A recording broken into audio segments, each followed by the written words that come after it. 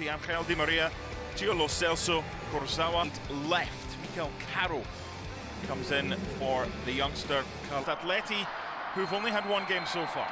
I think PSG would be a little bit more conservative. They were. PSG have got lined up here. Hit for goal. Sneak it in at the near post. And signing from Betis. Another opportunity to deliver for PSG. Cool. Kevin Gameiro has been here for a while, and he's got the opportunity. What a save that is by Kevin Trapp to deny Angel Correa.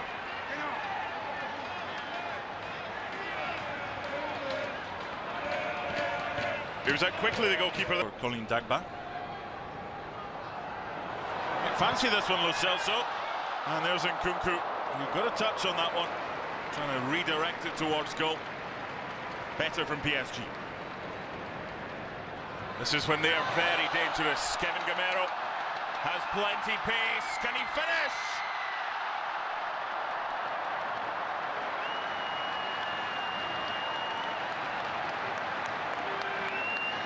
Atleti loves to sit in that low block and known for their explosive. Kurzawa. He's trying to get free at the back post. Was. Verratti.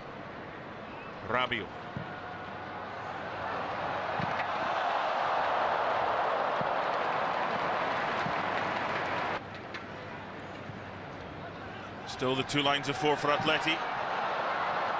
This time from Angel Di Maria. The International Champions Cup is presented by Heineken. Open your world, enjoy responsibly. And in part by Esurance, Auto and. It's the left wing back.